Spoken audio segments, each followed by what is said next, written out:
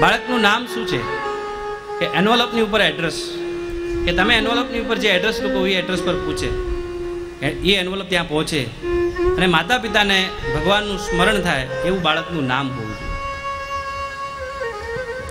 નામનું એક શાસ્ત્ર છે. દીકરાનું તમે નામ પાડો તો બે અથવા ચાર અક્ષરનું હોય અને દીકરીનું નામ પાડો તો ત્રણ અથવા પાંચ અક્ષરનું હોવું જોઈએ. તમે ભગવાનના પણ નામ જુઓ. કૃષ્ણ, રામ, શિવ. પછી એના ગુણ પ્રમાણે અલગ અલગ નામ, તમે કહેશો માધવ છે, કેશવ છે, હે? એ બધા અલગ અલગ નામ છે. પણ એના ગુણ પ્રમાણે, એને મૂળ નામ છે કૃષ્ણ. બે અક્ષર. રામ. તો બાળકનું નામ હોય, દીકરો હોય તો બે અક્ષરનું નામ પડો અને મહાપુરુષો પાસે નામ પડાવો. મહાપુરુષને તમે હાથમાં બાળક આપો, તો બાળકના આગલા જન્મના કર્મ જોઈ અને એનું નામ પાડે છે. તમે જોજો, પહેલાના જમાનામાં વેદ હતા, વેદ. વેદ ને તમે ત્યાં જાઓ તો તમારી નાડ જોઈને એમ કહી દે કે આ થયું છે. તમારી આંખ જોઈને કહી દે કે આ થયું છે. અને અત્યારના ડૉક્ટરો આવડી જાડી ફાઇલ બનાવે અને પછી પાછું માથું ખંજવાળે કે હજી કાંઈ ખબર ન પડી કે આમાં શું છે, કે આને શું થયું. તો પછી ત્યાં ફાઇલ શું કામ બનાવી? મહાપુરુષો હોય બાળક આગલા જન્મના કર્મ જોઈને નામ પાડે, એટલે નામ મહાપુરુષો પાસે પડાવે. નંદ બાબા એમ કહે છે કે ગુરુજી પહેલાં તમે આ રોહિણીના દીકરાનું નામ પાડો અને બલરામજીને હાથમાં લઈ, રોહિણીના દીકરા હાથમાં લઈ અને ગરગાચાર્ય કહે કે આ તો રામ જેવો છે. અને આની પાસે બળ બહુ હશે, શક્તિ બહુ હશે અને આ સંકર્ષણ થયો છે. એટલે આનું નામ હું પાડું છું બલરામ. બલરામજીનું નામકરણ થયું અને પછી નંદ બાબા એમ કહે છે કે ગુરુજી, મારા લાલનનું શું નામ પડશે? અને ગરગાચાર્યજી લાલનને જુએ પોતાના ખોળામાં લઈ ગરગાચાર્યજી કહે છે કે તમારા લાલાએ હરેક યુગમાં રક્ત, પિત્ત, શ્વેત અલગ અલગ કલર ધારણ કર્યા છે. આ યુગમાં એને શ્યામ વર્ણ ધારણ કર્યું છે અને એનું નામ હું પાડું છું કૃષ્ણ. બોલો, કૃષ્ણ કનૈયા લાલ કી જય. ભગવાનનું કર્યું ભગવાનનું નામ પાડવામાં આવ્યું છે. નંદ બાબા વિચાર કરે છે કે ગરગાચાર્યજી તમે નામ બહુ અઘરું પાડ્યું છે. હા?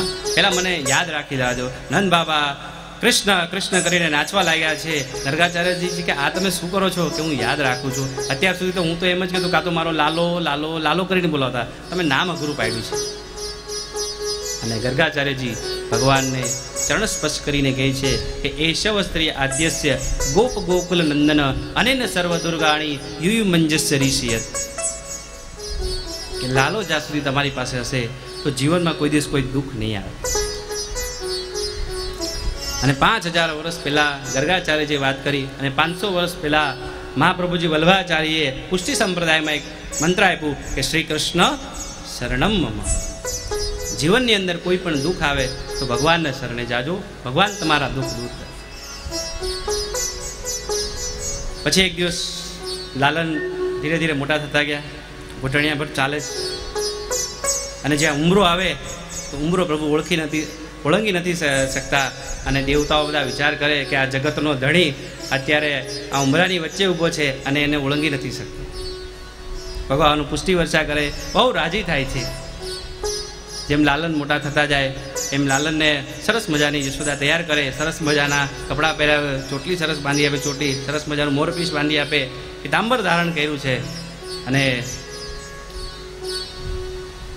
વ્રજની જે માટી હોય એમાં લાલો રમવા લાગે.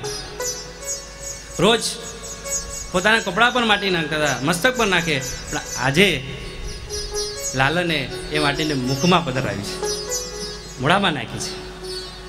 જ્યાં લાલાએ મોડામાં માટી નાખી, વ્રજની વ્રજ નાખી અને બલરામજીએ તરત કીધું કે, ઓ મૈયા, દેખો એ લલ્લા મીઠી ખા રહા હે અને જ્યાં તરત યશોદાજી દોડતા આવે અને જોવે અને લાલનને કહે કે, શું કરે લાલા? એ માટી ખાધી છે? લાલો કે ના, હમ બક્ષી દે માં અમે નથી ખાધી. આ બધા ખોટું બોલે છે? ચાલ મોડું ખોલ. અને જેવું ભગવાનનું મોડું ખોલે છે, તો યશોદામાં શું જવે છે? અંતરિક્ષ ભૂમંડળ, બ્રહ્માંડ. ભગવાન સૌ પ્રથમ યશોદાને વિશ્વરૂપ દર્શન કરાવે છે. ભગવાને ત્રણ વખત વિશ્વરૂપ દર્શન કરાવ્યું એક દુર્યોધનને જ્યારે પાંડવોની સંધિ કરવા માટે આવ્યો ત્યારે બતાવ્યું અને અર્જુનને બતાવ્યું હતું કે મહા- મહાભારતના યુદ્ધમાં અર્જુનને તૈયાર કરવાનો ત્યારે ભગવાને વિશ્વરૂપ દર્શન અર્જુનને બતાવ્યું હતું. અને એ સમયે અર્જુને ભગવાનની સ્તુતિ કરી છે. એ સ્થાને ઋષિકેશે તવ પર્ત કીર્ત્યા. જગત પ્રસ્તી યત નૂરજંતી રક્ષાની ભીષાની દિશો ધરવંતી. સર્વ નમસ્તુ સીત સંગા. ભગવાને અલગ અલગ રીતે બધાને વિશ્વ દર્શન બતાવ્યા છે. યશોદાને વિશ્વરૂપ બતાવ્યું એ સાત્વિક ભાવ છે. કારણ કે યશોદાએ લાલનને મોટા કર્યા હતા. અને દુર્યોધન ની સામે ક્રોધ કર્યો એટલે ભગવાને તામસની રીતે એને વિશ્વરૂપ બતાવ્યું છે અને અર્જુનને યુદ્ધ માટે તૈયાર કરવાનો હતો એટલે રાજસ ભાવ તરીકે એટલે ત્રણેય રીતે ભગવાને વિશ્વરૂપ દર્શન બતાવ્યું છે. ત્યારબાદ ભગવાને માખણ લીલાની વાત કરી છે. સુખદેવજીએ માખણ લીલાનું વર્ણન કર્યું છે કે ગોકુળની અંદર માખણ બને અને એ માખણ વેચવા જતું હતું મથુરામાં. અને ગોકુળના જે બધા છોકરાઓ હતા, એના બધાના શરીર દુબળા. એટલે લાલો કે બધા મિત્ર સર્કલને કે તમે તમારા ઘરે માખણ નથી મળતું? બધા મિત્ર સર ના લાલા, કે અમારી મમ્મી અમને માખણ નથી આપતી. હા? લાલો કે, હું કેવો છું? મસ્ત, તમે જો. લાલા, તું તો માખણ આરોગો છે ને? પણ અમારા ઘરે અમારી માં છે, એ તો એમ કે માખણ કંઈક ખાવાનું ન હોય, માખણ તો વેચવાનું હોય છે. લાલો ભાઈ, આ ન ચાલે. બધા ને ભેગા કર્યા અને લાલો વાત કરે છે. એ કે, આમ કેમ કરો છો તમે? એ કેમ આપણા ત્યાં આટલી ગાયો છે એટલું માખણ આવે છે, અને તમે તમારા દીકરાને જ માખણ નથી આપતા? પેલું ને કે વાડીએ જ રીંગણા મંગાવો કે તમારા દીકરાને તમે માખણ આપો? જે, ગોપીઓ કહે કે, લાલા, અમે જો અમારા દીકરાને માખણ આપીએ, તો પછી અમારું સેલ ઓછું થાય, તમને પૈસા ઓછા મળે. આ પૈસાની લાલચ એવી છે ને ભાઈ, એ કોઈને નથી છોડતું. લાલો કહે છે, તો પછી એક કામ કરો, માખણનું પ્રોડક્શન વધારો. હા? ગોપીઓ કે એ લાલા પોસિબલ છે જ નહીં. ગાય જે દૂધ આપે છે, એમાંથી અમે માખણ બનાવે એ વેચવા જઈએ. લાલો કહે કે, એ પોસિબલ છે. કે માખણનું પ્રોડક્શન વધે. ગોપી કેવી રીતે? કામ કરો કે ગો ગાયો જે ચરવા જાય છે, એ શું વનસ્પતિ ખાય છે, કેવું ઘાસ ખાય છે, તમે ધ્યાન રાખો. તો સારામાં સારું માખણ વધારે દૂધ મળશે અને વધારે માખણ થશે. ઉપયોગ એક લાલા, એ પોસિબલ નથી. ગાયોને ચરાવવા કોણ જાય? સવારે અમે ઊભા થઈએ, માખણ વલોવીએ, મથુરામાં વેચવા જઈએ, પાછા આવીએ. પછી જે જમવાનું બનાવ્યું, એ અમારા પતિ માટે ખેતરમાં લઈ જઈએ. પછી ખેતરમાં થોડું ઘણું કામ કરીને ઘરે પાછા આવીએ. તો સાંજ પડી જાય. ગાયોને ચરાવવા કોણ જાય? લાલો, બધા બાળ મિત્રોને એમ કહે છે, એ માખણ ખાવું છે ને? બધા કે હા, લાલા, માખણ તો ખાવું છે.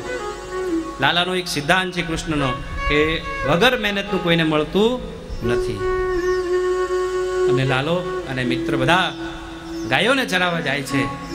સરસ મજાની ગાયો અને લાલો ગાયોની વચ્ચે પાછળી વગાડતું જાય.